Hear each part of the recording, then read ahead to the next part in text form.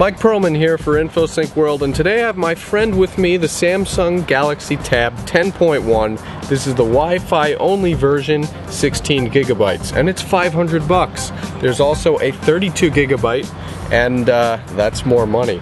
This is the white version. It's white and gray. It's pretty neat. And one thing I liked about this tablet is that it's exceedingly light.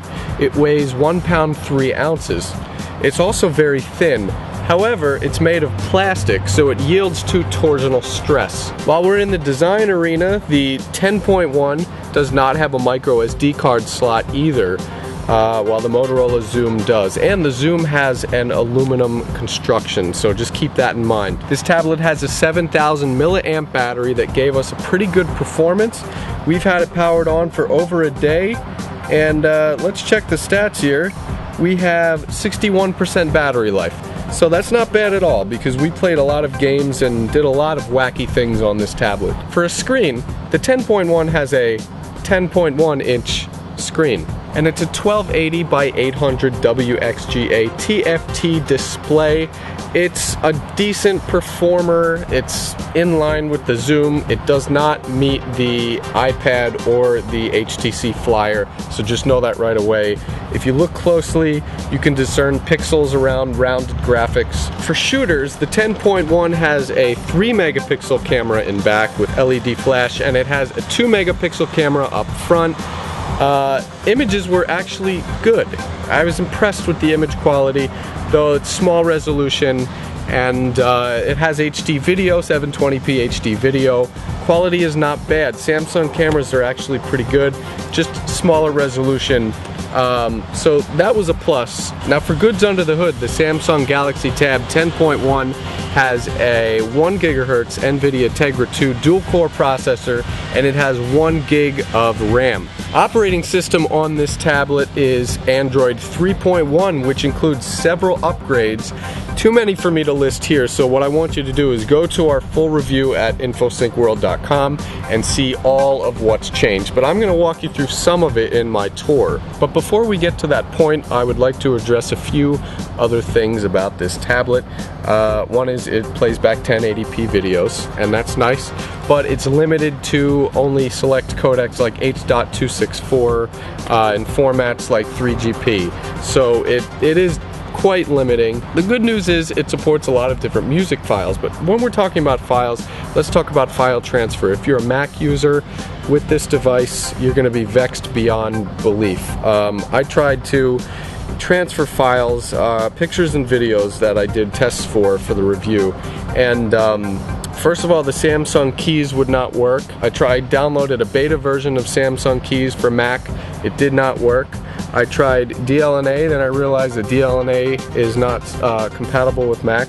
And then um, I also tried Bluetooth, and uh, there was something wrong with the hardware. It wouldn't let me uh, do it over Bluetooth, so I had to end up emailing myself everything, and that was beyond annoying and wanted to make me throw this out the window. I was able to do everything with every other tablet, the HTC Flyer, the Xoom, the G Slate, but not this thing, so um, if Samsung could fix that, that would be awesome, but for now, I was exceedingly pissed off. With that in mind, let's uh, jump into the tour. Now I'm going to take you for a spin with the Samsung Galaxy Tab 10.1. That is the security lock screen that I set up. And uh, we have two, three, four, five home screens. And uh, this works just like Honeycomb, the Honeycomb that we saw on Xoom, except um, there are a few different features. Here's one. Uh, so email, okay? Let's tap and hold on email we could actually make this larger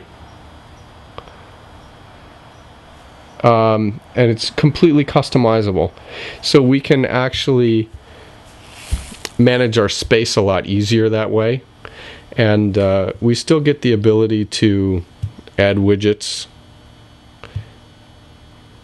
hey there we go um, using this customization kind of uh, mission control panel here. And uh, it's kind of the same widgets that we got last time. Um, okay, here are all of our applications. And uh, if we want to add anything, all we have to do is tap on it and drag it to any of the any of the home screens here. Um, and there it goes. Um, also, we can change wallpapers from right here. It's really easy.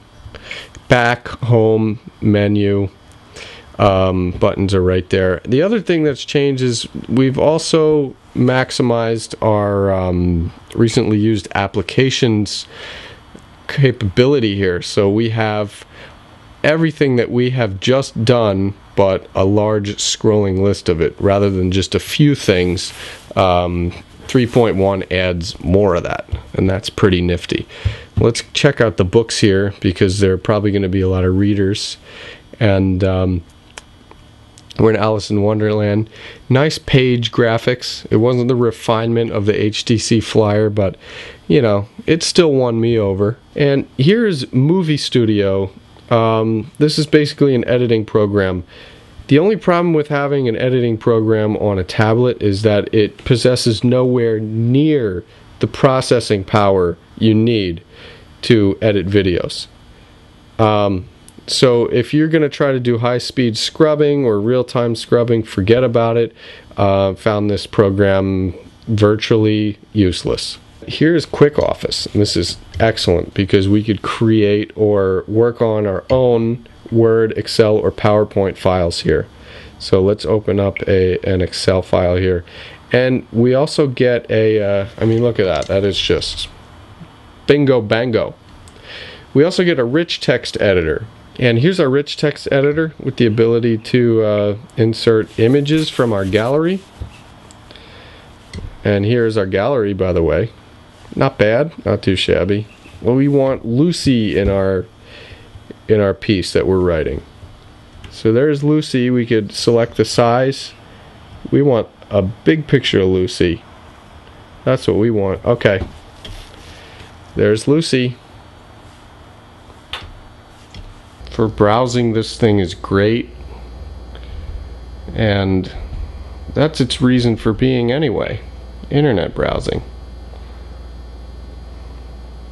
Um, it's quick and responsive.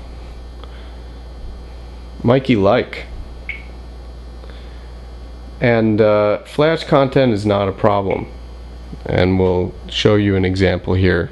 So no problem playing videos scrolling through galleries.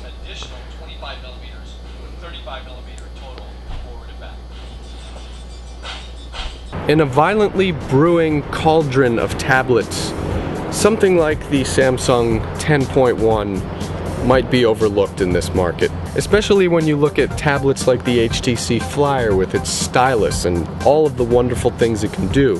When you look at the T-Mobile G Slate and its innovative interface and 1080p video that is actually good to look at. And there's also the Xoom that gives you an HDMI terminal and it offers a micro SD card slot. It has an aluminum body. In my eyes, the Samsung Galaxy Tab 10.1 is a good tab but it's just good when you compare it to the competition. And uh, if you want to see the full review on the 10.1, be sure to go to infosyncworld.com for my full conclusion and analysis. Until next time, I'm Mike Perlman. I'll see you guys later.